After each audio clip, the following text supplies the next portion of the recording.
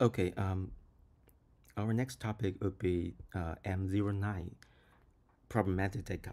We will talk about uh, some um, problem you may encounter when you analyze um, different data. Okay, so the first one is missing value. Okay, um, take a look at the right hand side right here, and uh, um, usually we have several different um, features x1 to xm, right? And we have n data point, and sometimes some value, okay, no matter how it is not there, okay, so it is a missing value.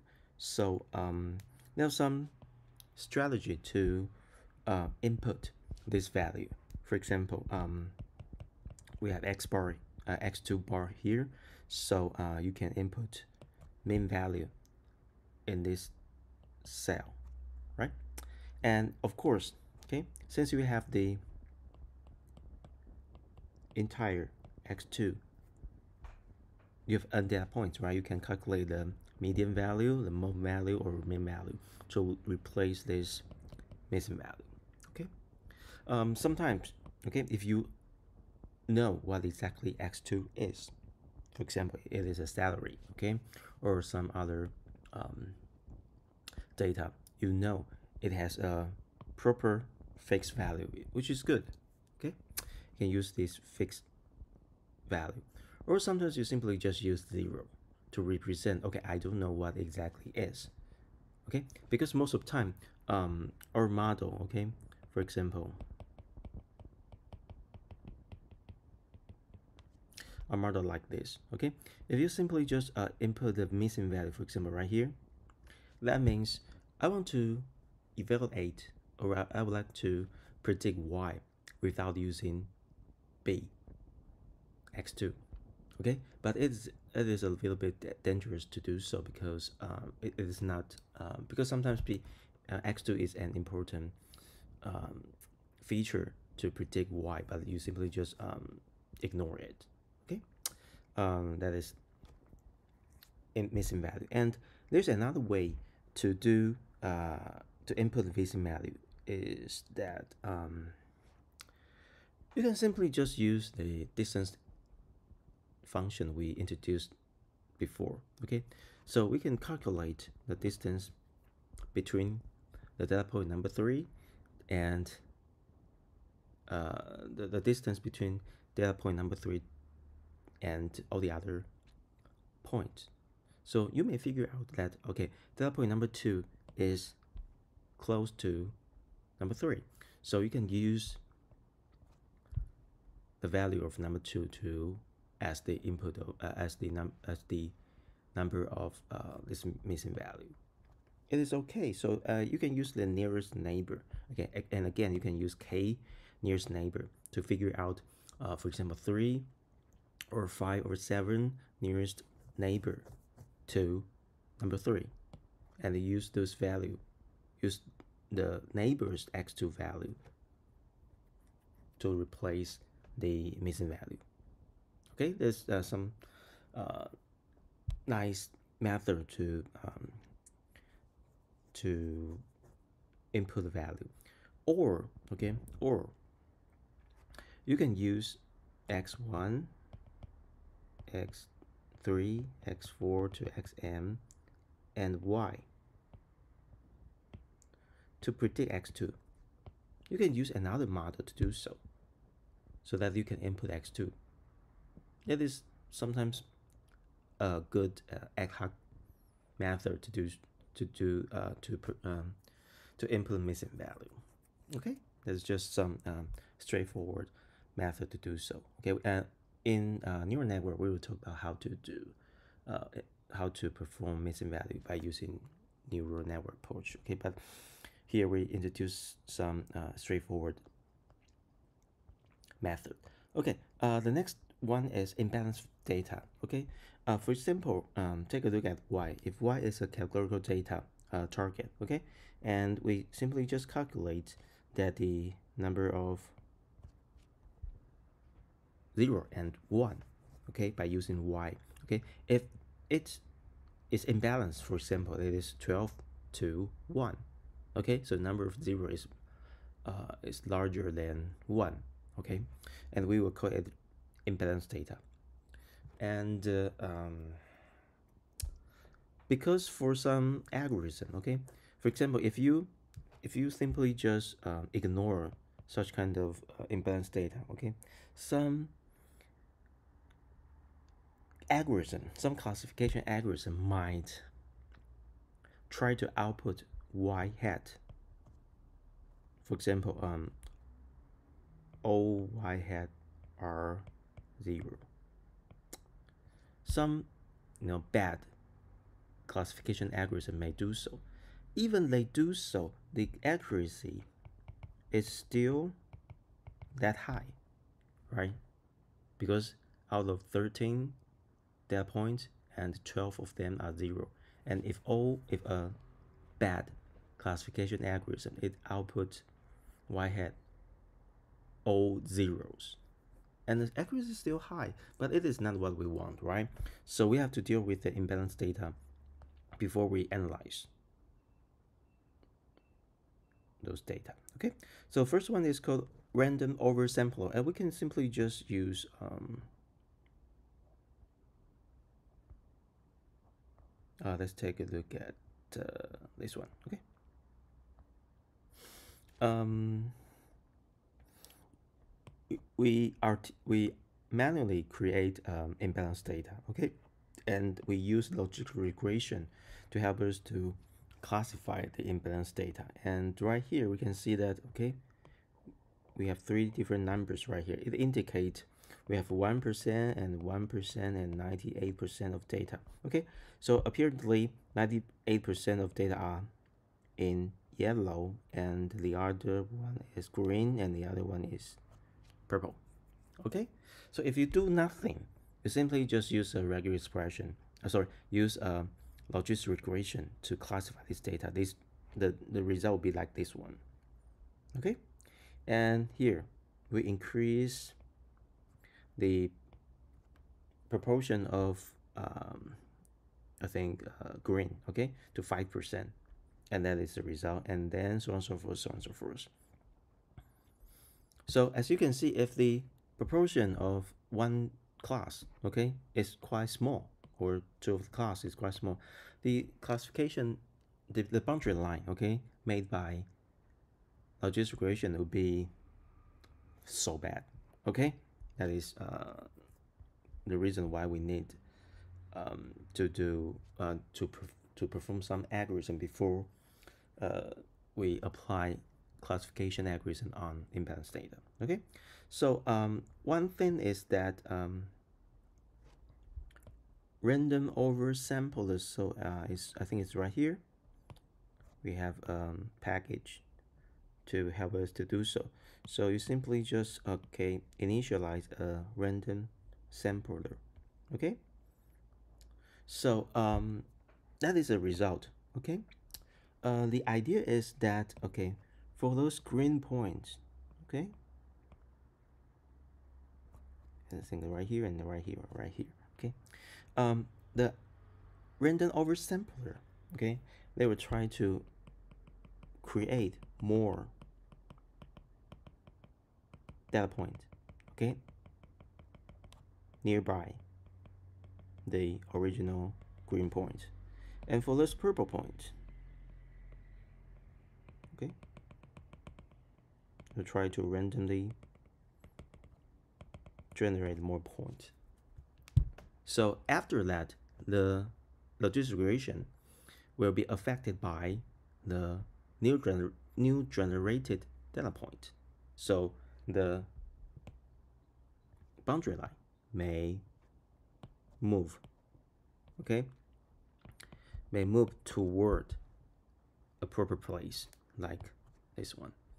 The reason why we use um, logistic regression right here is because the the function okay the the logistic regression is that looks like this one right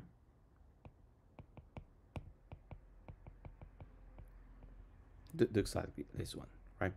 And uh, um, for a logistic regression, its loss function is maximum likelihood. Likelihood will go over the in entire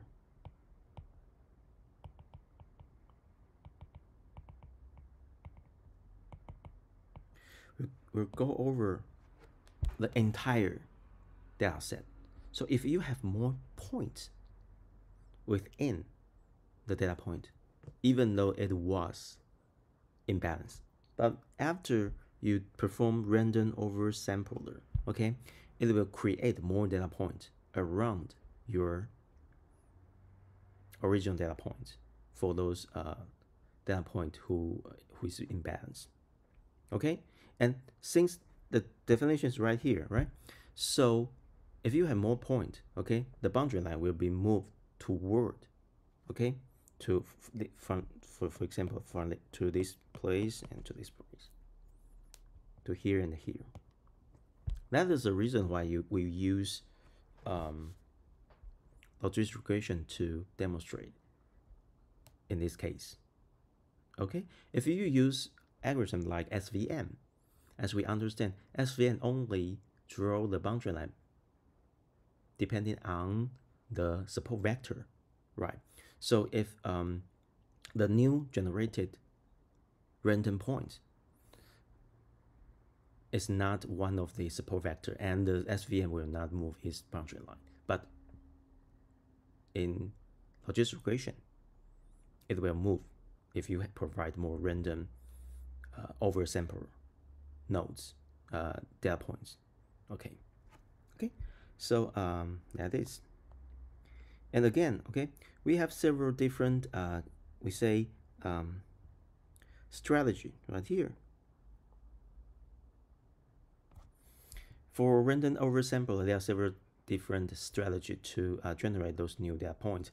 And as we can see that uh, for the smooth, uh, right here, okay, that's it. There's a parameter right here, okay?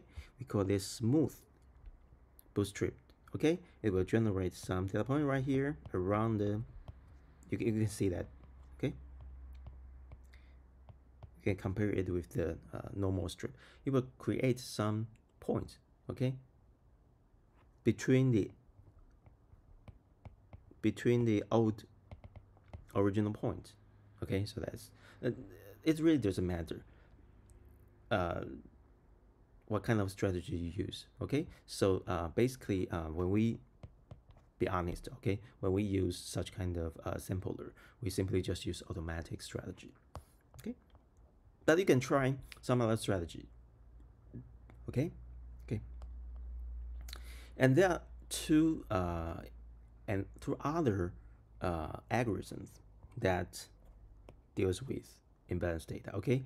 ADASYN and the SMOTE is mode, okay? So uh, we will not go over the algorithm, okay, because um, it is too complex, but we simply just show you how it works, okay? So at the left hand side, okay, we can see the original data point, and we can use the oversampler, okay, to generate some data points.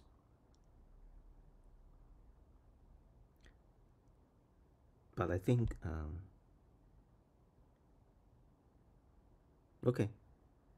Okay. And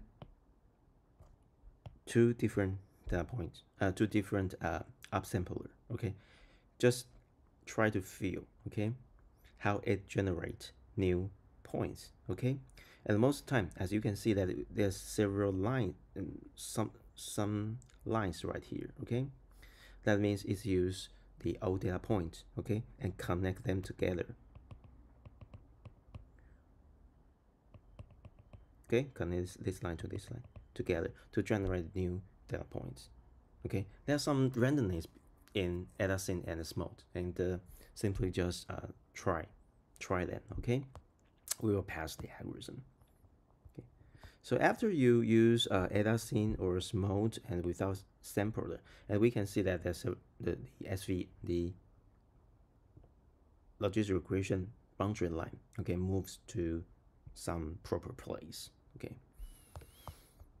Okay, that is another example. Okay, we it's a more complex example. Okay, and it shows the that, that is the original points. Okay, that is the point made by SMOTE, and that is the point made by ADASYN. Okay, and uh, the corresponding boundary line would be right here and here and here. Okay.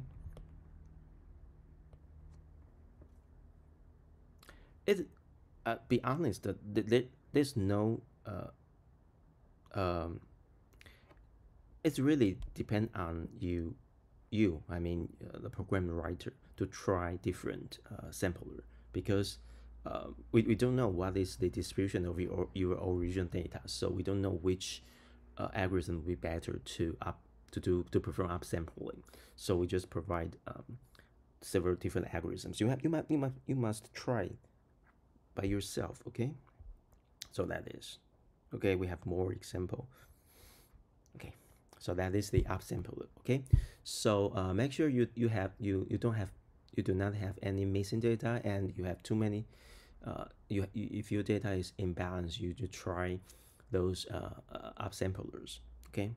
And next one is that uh, we have talked about this outlier before okay? If you have some data point right here and ideally you should create a linear regression line like this. But you have a outlier right here and it will create an appropriate, inappropriate uh,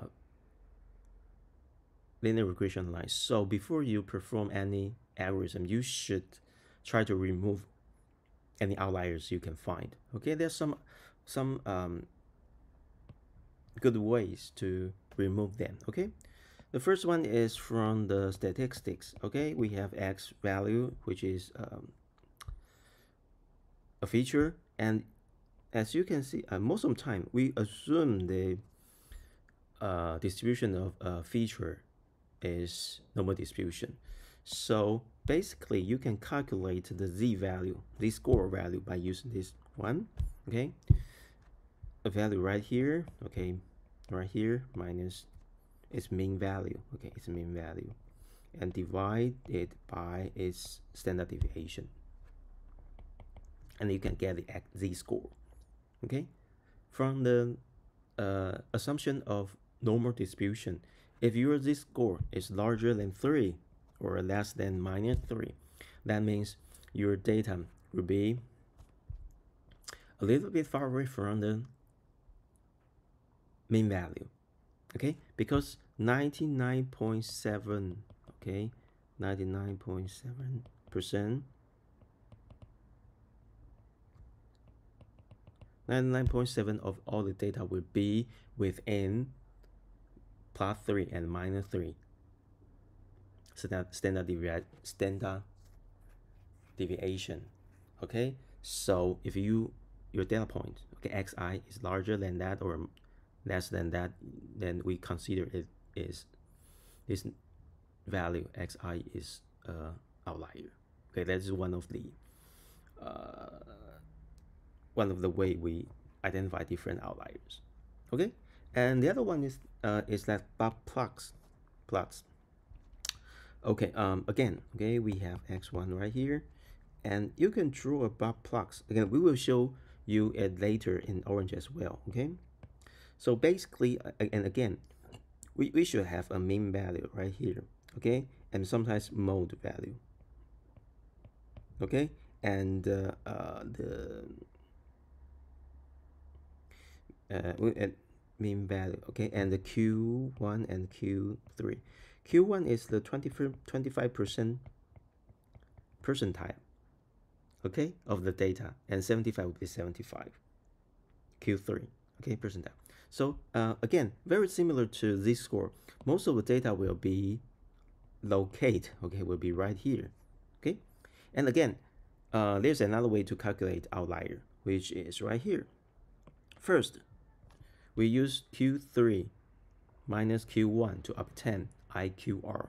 And we use 1.5 IQR. Okay? So right here. The Q1 is right here, right?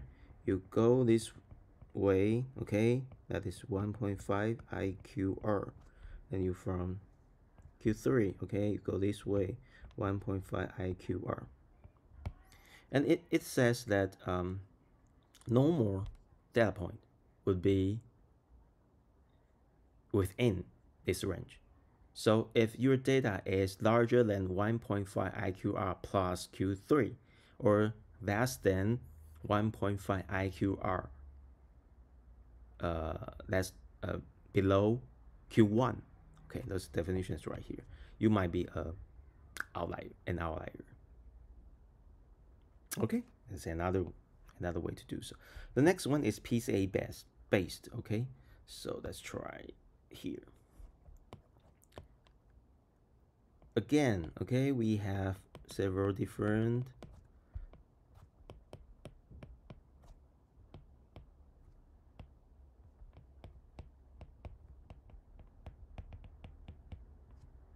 we have um,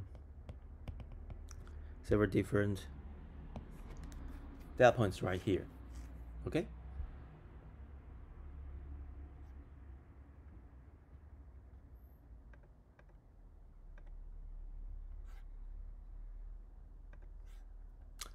wait a moment okay please wait a moment.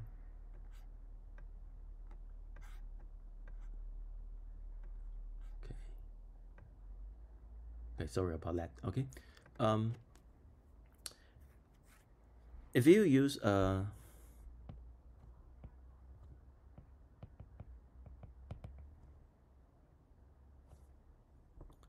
matrix okay to convert the original x to a new space, PC space. Okay, as we mentioned before, we can simply just uh, use a value right k right here.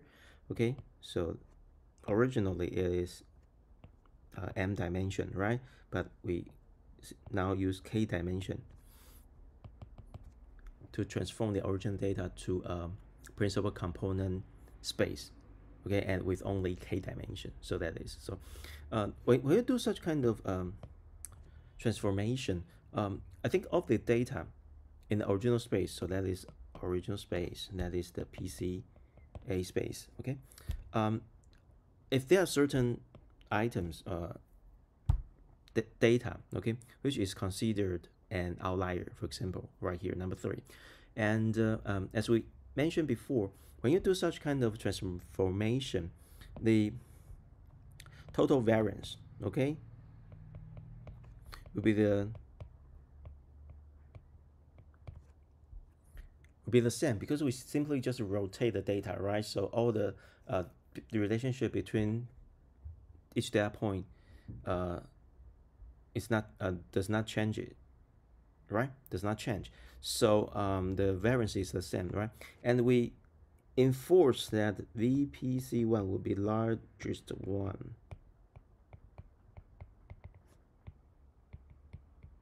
So if we use PCA to transform all the data point from the original space to the PCA space, and if it is an outlier, the outlier will be very, we say, um, you can observe this outlier more easily in PC1, PC2, and PC3 because PC the, the PC1, PC2, and PC3 they have largest var variance, and variance in space means uh, is related to distance. So if an outlier, which is far away from the other data points, and you transform it by using PCA, and in a new space, the, the distance between the outlier and the, for example, the central E of the data point will be larger in PC 1, 2, 3 space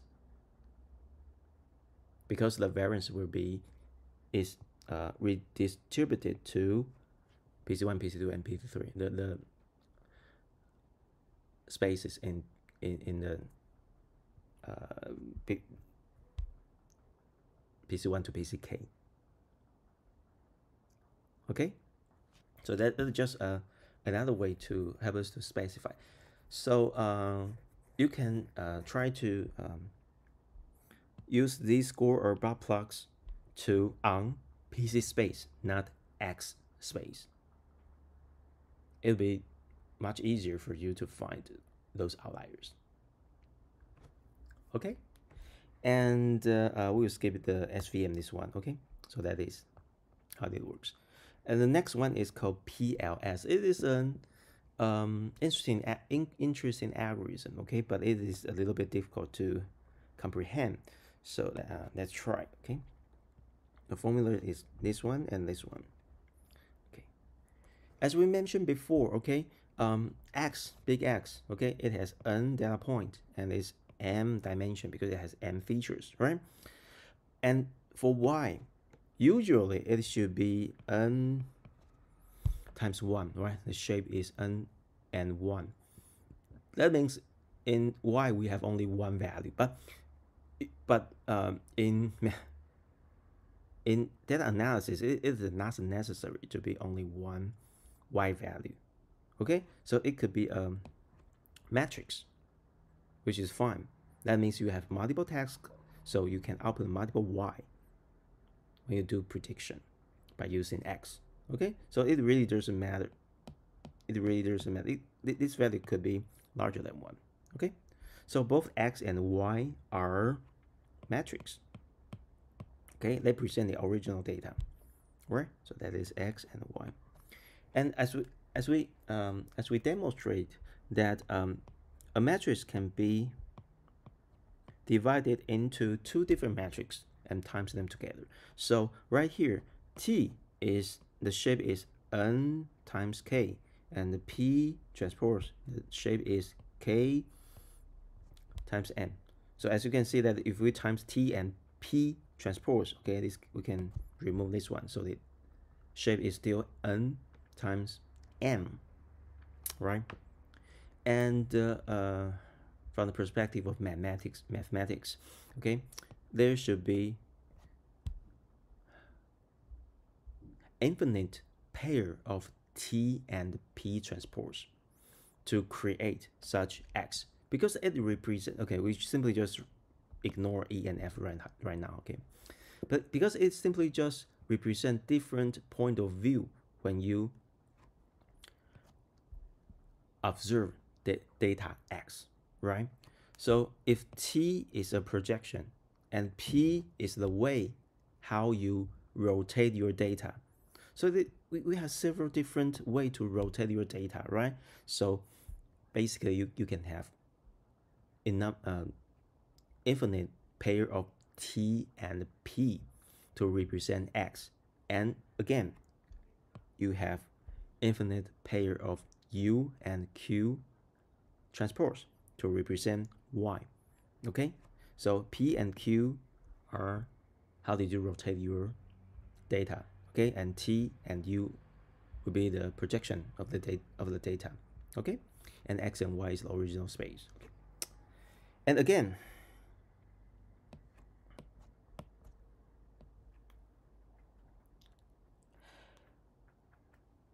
T and P, uh, sorry, um, again, um, for this uh, algorithm, PLS, partial least square regression, okay? Again, we do uh, interesting things that uh, right here. Although there are lots of uh, pairs of T and P and U and Q, but we enforce, okay? We, we like to find the T and U which they have maximum covariance. Okay, so if x and y has certain relationship, okay, but that relationship is not quite obvious. So how about we transform the original x and y by using p transpose and q transpose to transform them to another new space or say projection, which is T and U. And T and U has maximized covariance. Okay? But when we do such kind of transformation, okay, the transformation may not be that perfect. So we add the arrow, okay? On each side, okay, E and F, okay? So if the transform transformation of P and Q is so perfect and T and U has maximum covariance, for data point, okay, E and F, sorry, for data point X and Y, they may not need E and F to correct this formulation. E and F means error, okay? If X and Y has a lot of noises in X and Y, so we cannot find a perfect transformation T and U by using P and Q. And there should be lots of errors should be added to TP and uh, UQ so that we can get X and Y. If XY has a lot of noise so that we cannot find the perfect TU. Okay, so by using this um, algorithm, we we simply just calculate this value. Okay, so if a node, uh, sorry, if a, a, a data point who has large E and large F, that means we cannot easily use P and Q to transform X and Y to T and U. We need some other E error correction and F error correction to do so. So in this case, okay, we can simply just skip this one. Okay, that is an example. Okay. So we can see that there's some um, data point right here. They have large errors because most of the data point can easily be transformed to T and U. They don't have large E and F. Okay, so by using this way, we can try to find the, the, the data point who has large errors and try to plot it, try to figure out them. But there's one thing you have to uh, do by yourself that is um, where you should consider uh, uh, where's the threshold you set. Okay so that you can uh, differentiate uh, outliers and uh, normal data points. But that is one of the way to do so okay? To help you to find those um, outliers okay? So and again um, we have PCA so we simply just perform PCA okay? So after you perform PCA we simply just uh, for example find some um, k value okay right for example right k value right here so you can map your data from original space to uh, PC, PC1 and PC2. And as you can see that because PC1 and PC2 has largest cumulated uh, variance, so some data point may be may jump out, okay, because we can observe those data, those outlier data points more easily in PC space. So uh, that is the first uh, topics. Okay, we stop right here and we we'll continue uh, in next video.